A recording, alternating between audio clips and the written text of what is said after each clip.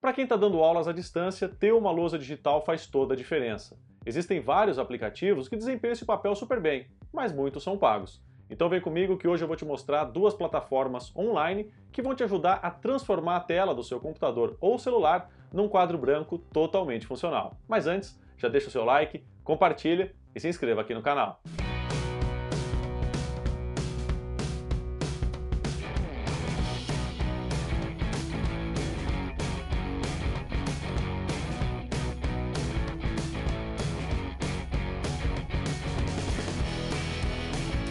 Bom, para ter acesso à primeira ferramenta, basta entrar aqui no site whiteboard.chat. Como de costume, eu vou deixar direitinho aí na descrição do vídeo. E funciona tanto no computador quanto no celular. A diferença é que no celular você vai ter mais facilidade em escrever na tela usando o seu dedo ou uma canetinha touch do que se você não tiver tanta habilidade utilizando um mouse para escrever. Então aqui no site é só você clicar em Start Drawing e pronto, ele já vai abrir o quadro branco aqui para você. O legal dessa ferramenta é que ela é colaborativa. Você pode tanto usar esse QR Code aqui para compartilhar através do celular com os seus alunos, ou clicando aqui do lado do QR Code, ele vai gerar um link que vai ser mandado por e-mail para os seus alunos para eles poderem compartilhar esse quadro com você. E aqui no quadro branco é tudo muito simples. Você pode escolher a cor da sua caneta clicando aqui do lado. Você pode escolher aqui a cor que você quiser. Você pode também aumentar ou diminuir a espessura do pincel de acordo com o trabalho que você pretende compartilhar. Aí fica a seu critério. Se você errar alguma coisa, você também pode apagar. Aí você escolhe também a espessura da borracha na hora de apagar aqui o seu desenho. Ou pode clicar aqui nesse X para limpar totalmente o quadro. Ele vai perguntar se você quer mesmo e ok, pronto, seu quadro já está totalmente branco. Você também pode acrescentar imagens, então clicando aqui, ele vai pedir para você colocar uma imagem que você tem aí no seu computador. Você também pode acrescentar uma caixa de texto, então clicando aqui, ele te deixa escrever aqui no quadro branco, e clicando aqui na nuvenzinha, você pode fazer o download do seu quadro branco. Ele vai pedir para você escolher a pasta onde você quer salvar, aí é só clicar em salvar e pronto, o seu quadro branco fica salvo aí no seu computador, em formato PDF. Você também pode salvar o seu quadro branco na própria nuvem do aplicativo. Então você vem aqui no disquete, coloca em Save, escolhe um nome para o seu quadro, Pronto, o seu quadro já está salvo aqui na nuvem. E aí aparece essa mensagem que todos os quadros serão deletados em 14 dias. E aqui você pode ver o seu quadro branco novamente e você também pode apagar o que você não quiser mais. Para ter acesso a esse salvamento aqui, quando vocês forem entrar pela primeira vez aqui para salvar um quadro branco, ele vai pedir para vocês colocarem um e-mail. Geralmente é o e-mail do Google mesmo. Colocando esse e-mail, aí automaticamente sempre que você salvar esse seu quadro branco, ele já vai estar tá linkado aqui com o seu e-mail do Google, então você pode aí deixar o seu quadro branco salvo por até 14 dias. E se porventura você quiser baixar isso para o seu computador, daquela forma que eu ensinei, é só vir aqui na nuvenzinha e colocar em download, ele já vai abrir aqui uma janelinha para você salvar esse quadro no seu computador no formato PDF. Bem louco! A outra ferramenta que eu tenho para mostrar para vocês é essa Classroom Screen. Também é um site, é uma plataforma online e eu vou deixar direitinho depois na descrição do vídeo. Como vocês estão vendo aqui, ela tem versões pagas, né? Mas a versão gratuita dela é super completa, dá para trabalhar tranquilamente. E para você ter acesso a outras funções aqui na versão gratuita, é só colocar em Sign Up, ele vai te pedir para entrar com o seu e-mail do Google, e pronto, aí você ganha algumas funções além daquelas que você teria se não tivesse feito o login aqui com seu e-mail. E esse quadro aqui, apesar de ele ser online, ele também é super completo. Então você pode trocar essa imagem de fundo aqui, vindo aqui nesse ícone. E aí você pode escolher, por exemplo, um quadro de lousa. E aqui você tem algumas funções que podem ser utilizadas durante a sua aula à distância. Por exemplo, você pode fazer um sorteio de nome aleatório e clicar aqui para escolher.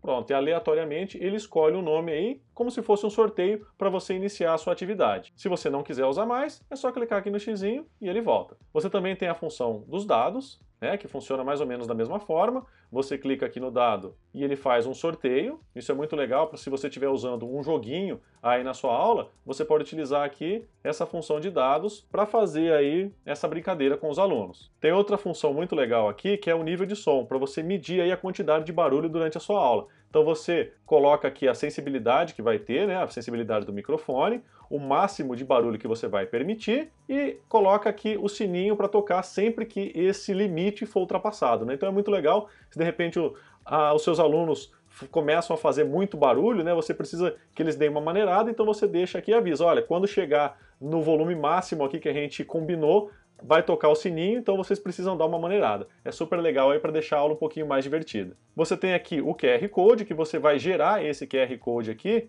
e você pode compartilhar com os alunos, né, para que eles tenham acesso aqui ao seu quadro. Então ela também é uma ferramenta colaborativa, né? Você também pode desenhar clicando aqui. Então ele abre um quadro branco que você pode aumentar do tamanho que você precisa, e aí você vai desenhando aqui como qualquer outro tipo de quadro branco, né? Não tem segredo.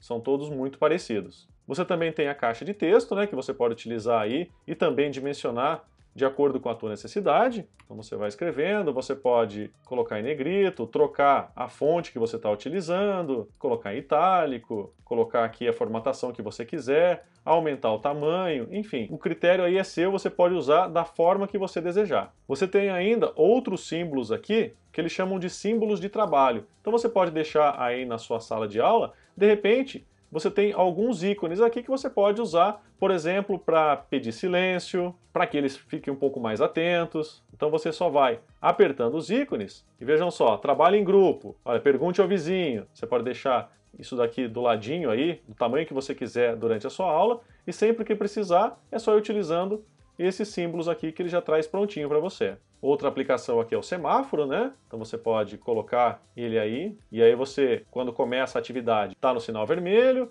essa daqui é a atenção, e no verde, pronto, eles começam a atividade, e aí você pode ficar tranquilo aí e sempre utilizando esses ícones aqui para parar a atividade, para que eles prestem atenção ou para que eles comecem novamente. Você tem o cronômetro, né, você deixa aqui do ladinho, você pode colocar aqui o tempo que eles vão ter, mais ou menos tempo, clica aqui para começar.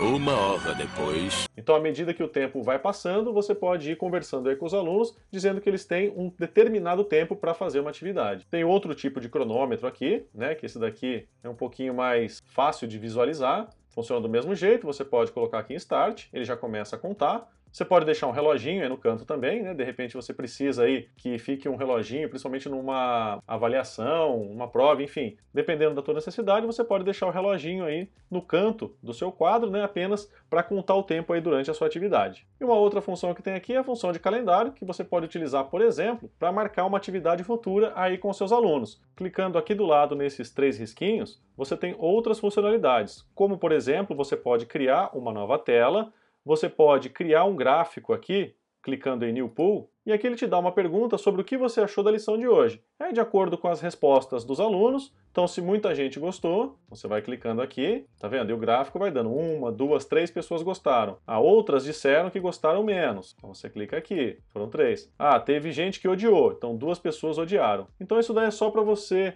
é, fazer uma interação aí com os alunos para que eles deem um feedback aí do que eles acharam da sua aula. Você também pode criar grupos de alunos. Então você vem aqui a New Group Marker, ele já vai aparecer aqui para você, para você digitar a sua lista de estudantes, né? Coloque em próximo e pronto, ele já vai dividir, ele já vai criar os grupos de alunos. Duas pessoas vão ficar nesse grupo e duas pessoas vão ficar no outro grupo. Clique em criar grupos e pronto, ele já cria os grupos aqui para você começar a desenvolver sua atividade. Tá aí, se você gosta desse tipo de conteúdo e quer me ver falando ainda mais sobre essas tecnologias usadas no ensino à distância, é só deixar a sua ideia, a sua sugestão nos comentários aqui embaixo, tá bom? Então aproveita para curtir um dos vídeos que estão aparecendo aqui na tela e eu te vejo na próxima. Tchau, tchau!